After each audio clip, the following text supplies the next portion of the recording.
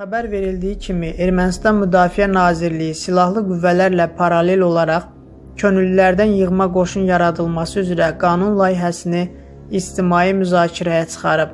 Bu qüvvələrə könüllülər ordusunun qərargahı vasitəsilə silahlı qüvvələrin baş qərargah rəisi rəhbərlik edəcək. Müdafiə haqqında qanuna dəyişiklik kimi nəzərdə tutulan layihə Ədliyyə Nazirliyinin veb saytında dərc olunub.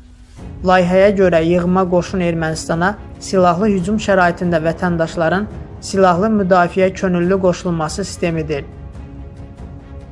Parlamentdə mənim addımım fraksiyasının üzvü olan deputat Yerkrapa Könüllülər Birliyinin sədri Sasun Mikaelyan Azadlıq Radiosunun erməni xidmətinə müsahibəsində deyib ki, müharibə şəraitində olan ölkə üçün qeyri-nizami ordu vacibdir və bu ideya bir neçə ildir müzakirə olunur.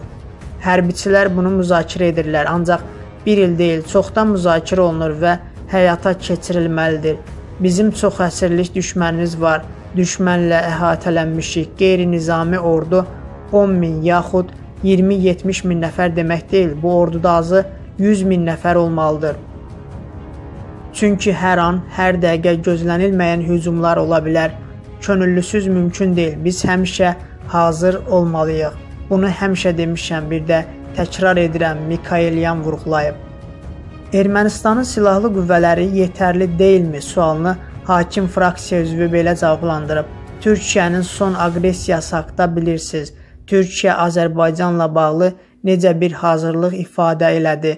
Bu o demək deyil ki, bizim silahlı qüvvələrimiz döyüş qabiliyyətli deyil, hazır deyillər. Ancaq bizdə qeyri-nizami qoşun olmalıdır. Çünki Allah eləməsin, buna oxşar nəsə baş versə, ordu lazımdır.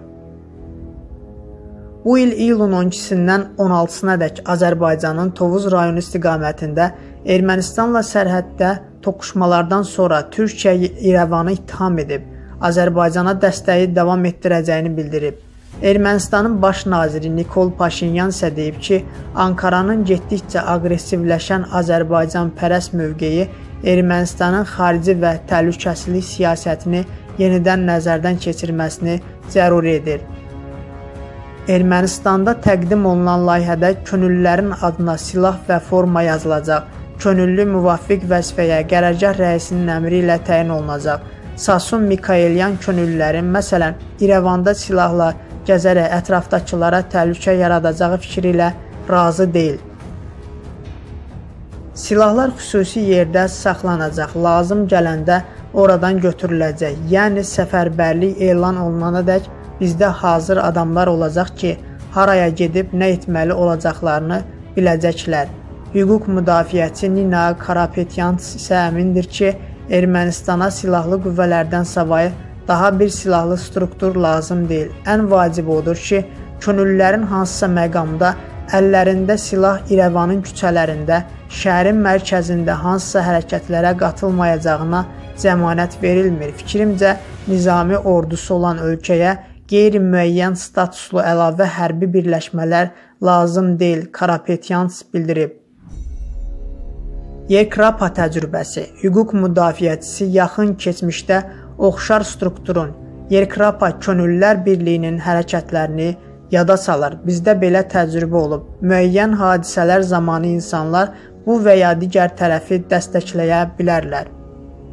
Hakimiyyət yaxud hansısa qüvvələr onlardan istifadə edə bilər, o vurğulayıb. Vətəndaşlar sentyabrın 8-nədək qanun layihəsi ilə bağlı təkliflərini irəli sürə bilərlər. Qeyd edək ki, Yerkrapa Könüllülər Birliyi 1993-cü ildə yaradılıb və Qarabağ müharibəsi veteranlarını birləşdirib. 1999-cu ildən birliyə general Manuel Qriqoryan rəhbərlik edirdi. 2018-ci ildə antikorrupsiya istintaqı çərçivəsində saxlanıb. Hazırda birliyin rəhbəri Sasun Mikailyandır. Bu yarım hərbi birlik ötən əsrin 90-cı illərində Ermənistanda faktiki olaraq hərbi çevriliş həyata keçirib və Qarabağ klanının hakimiyyətə gəlişinə imkan yaradır.